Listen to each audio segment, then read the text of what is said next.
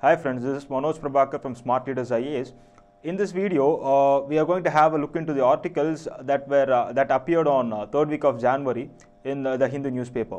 The first article we are going to discuss is the People Connection Young Israelis in India. What is this article speaking about? This article is about uh, need for improving cultural interaction between India. It also mentions the existing cultural relationship between India and Israel. So now we have uh, improved our ties with Israel, uh, basically in the fronts of defense, also in the areas of technology transfer, especially in agriculture and uh, water technology. Apart from that, the improving cultural interaction, improving cultural interaction will strengthen the ties between any two countries. So Israel wants to improve cultural interaction between India. They want to improve the ties from trade based to service based by improving tourism and other cultural interaction between uh, two countries. And uh, there is one particular term uh, they have discussed in this article that is Aliyah. Aliyah is a right of any Jew to ascend to Israel. So we all know Israel was uh, basically a state created for the sake of Jews. So right was given to every Jew present in the uh, settle down in Israel whenever they wanted. So uh, many of the Indian Jews they settled down in Israel uh, through the Aliyah. So the cultural relationship attains importance in the present context of India-Israel relationship. Many of the Indian Jews reached Israel through Aliyah, and uh, even before this uh, phase of improving cultural interaction between India and Israel, there existed some sort of relationship between uh, relationship between India and Israel during uh, earlier period, that is during early 50s, 60s. And a street in Tel Aviv is named after our India's own Nobel laureate poet Rabindranath Tagore. And uh, there is also another hospice of Indian Sufi saint Baba Farid in Al Aqsa Mosque, Jerusalem. So, whenever a Sufi saint is visiting a sacred place, they set up their hospice or a place where the where the pilgrims can uh, rest, where the pilgrims can stay.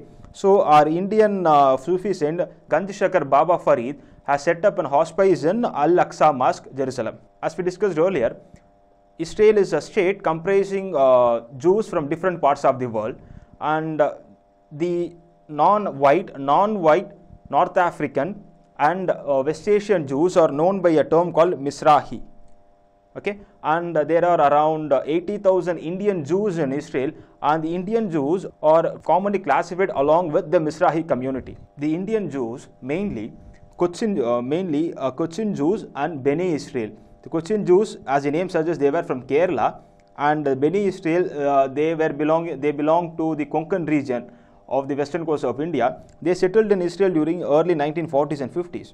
The picture shown in the slide uh, it shows the uh, a street called Jew Street in Cochin. Now it is most of the houses are inhabited and it's a place for uh, tourist interest. It has become a place of tourist interest, the Jew Street in Cochin. Since uh, people belonging to different ethnic and different uh, race groups, they settled down in Israel just because they were all Jews. There was also some discrimination between the white Jews and the non-white Jews. The European white Jews are known as Ashkenazi Jews and uh, the non-white North African, West Asian, Indian Jews were known as Mizrahi, M-I-Z-R-A-H-I, Mizrahi. And these Mizrahis were uh, discriminated by Ashkenazi Jews. They were discriminated by Ashkenazi Jews. What did these Indian Jews who settled down in Israel did for their uh, livelihood? The Cochin Jews they undertake uh, they settled in uh, moshavs or they uh, settled down in moshavs or community farms and they undertook uh, floriculture the Beni Jews from Konkan region they were into some modest professions. They slowly raised into some middle income group and they got uh, settled in uh, towns like Ashdod and Ramla. Also these Beni Jews fought against discrimination and they they were accepted they won a major case they, they won a legal battle by which they were accepted as full Jews. Apart from these uh, Beni Israelis and uh, Cochin Jews, there were also some other uh, Jew community in India. They, they, were the Baghdadi Jews. The Baghdadi Jews were predominantly from Mumbai, Calcutta, and Pune. They, when they settled in Israel, they mingled with the Iraqi Jews who had come from Iraq, and either they they mingled with Iraqi Jews or they mingled with the English speaking uh, Jewish immigrants. And the last chunk of uh, Indian Jews who settled, uh, who used the route of Aliyah to reach Israel, they were Bnei Menashe Jews. Bnei Menashe Jews from Manipur and Mizoram. So this picture in the slide uh, depicts the Bnei Menashe entering uh, Israel through the route of Aliyah. And now these uh, Indian Jews in Israel, they act as a bridge for cultural interaction. And the author says that they celebrate Indian Independence Day and Republic Day with uh, huge fervor.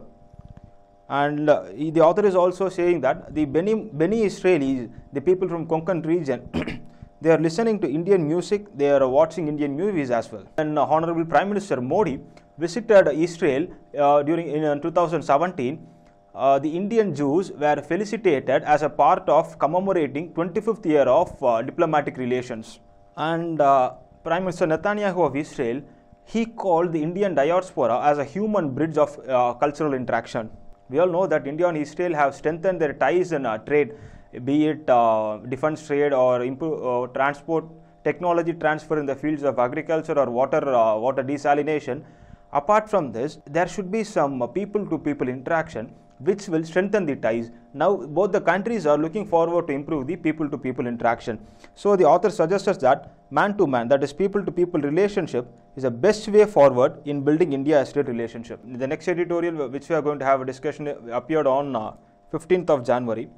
The editorial is titled Tackling Government Litigation.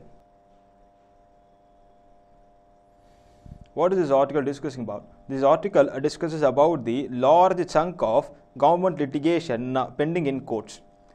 So, uh, what is the present status of uh, pending cases in Indian courts? Uh, in a report released by Supreme Court, Supreme Court normally releases their annual report in which uh, they mention data pertinent to judicial activities undertaken in that particular year. The report is known as Indian Judiciary Annual Report.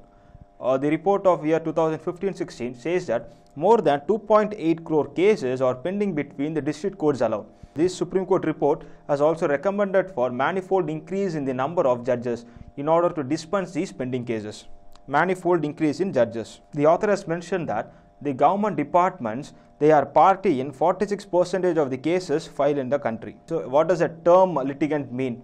litigant uh, means a party party involved in a case the party either may be a petitioner or either may be a respondent in a case to be in more legal terms it, he may either be a complainant or a plaintiff so either of the petitioner or respondent is known as litigant what does the term government uh, mean to a common person?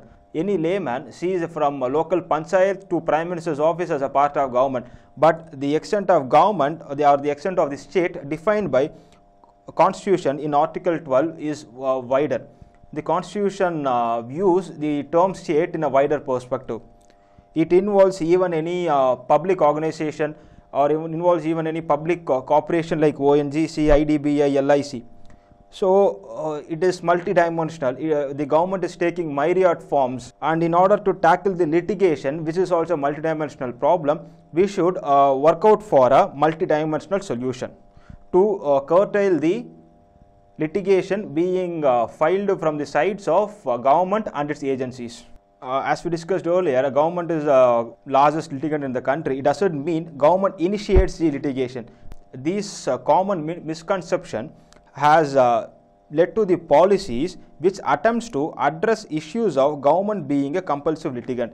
Uh, the uh, policies undertaken by government they are based on the common misconception that government is being a compulsive litigant. This approach excludes the cases where the government is a respondent. So when government is government is a respondent, who will be the petitioner? The petitioner will be the citizen. And uh, a report by Vidhi Center for Legal Policy, a think tank working in uh, uh, judiciary arena, they say that around only 7.4, only 7.4 percentage of fresh litigations filed by cen- central government in 2014. The legal policy think tank they have uh, found that only 7.4 percentage of the cases that were filed in Supreme Court uh, during the year 2014 uh, were filed by central government. In order to have a proper understanding about the government, the menace of government litigation, uh, this Vidhi Center of Legal Policy had undertaken a case study in uh, Karnataka High Court. What are the findings of the case study? Um, normally, it is found that uh, more than 80 percentage of the cases that's filed during the year to 2012 to 2016 were mainly writ against state and parastatal agencies. So, what are parastatal? We know what are the state agencies, that is government. What are parastatal agencies? Uh, parastatal agencies or uh, organs or agencies under the state government. And we all know Article 226 has enabled the citizen to move High Court for violation of his or her uh, fundamental rights. And uh, they say that the report also found that more than 60% of the cases in uh, filed in 2016 were writ petitions. This increasing number of writ petitions shows the rising friction between the uh, government and the citizens. The number of writs indicate the extent of friction between the govern uh, the government and the governed.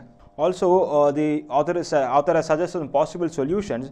Um, as we discussed earlier, government and the, the state and its organs take myriad forms and you know and uh, these government litigation has become uh, evolved as a multidimensional problem.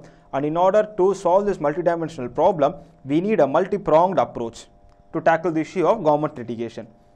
Apart from these uh, petitions filed by citizens there is also a good chunk of cases filed because of uh, departmental and interdepartmental uh, issues like uh, something related to promotion, something related to uh, increment, those kind of departmental related issues. And the author has uh, proposed for an internal dispute resolution mechanism. That is, a robust internal dispute resolution mechanism is necessary in order to solve the uh, friction happening within the government, that is, the departmental and interdepartmental frictions. Also, a good number of writ petitions, a good number of cases uh, for which the government was respondent were mainly on uh, the actions of the government or the quasi judicial bodies in the cases of land acquisition. And in the cases of land acquisition, there was a clear breach of law or violation of natural justice. The author feels that since uh, the quasi judicial officers are the main source of uh, rising litigation, he wants the uh, he wants the quasi judicial officers to be trained in basics of uh, legal principles. So he has suggested proper training for quasi judicial officers and he has also proposed, he has also uh, recommended for uh, creating a separate class of judicial officers, that is, separate class of judicial officers to discharge quasi judicial function so that the efficiency efficiency of the uh, quasi judicial bodies uh, will be increased and there will be a significant number of decrease in government litigation. What is the way forward?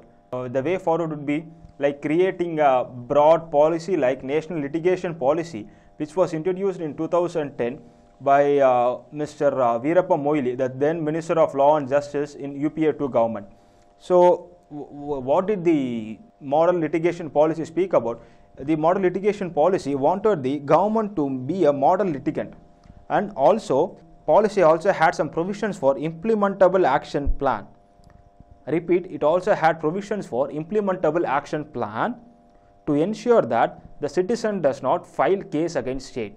That is by improving service quality of the state the citizens can be stopped from filing cases against the state. There are certain governmental departments which are prone to litigations. So the government has to uh, government has to look into these uh, departments and they should go for specific solution for specific department. uh, rather uh, the government should go for horses for uh, courses. Thank you.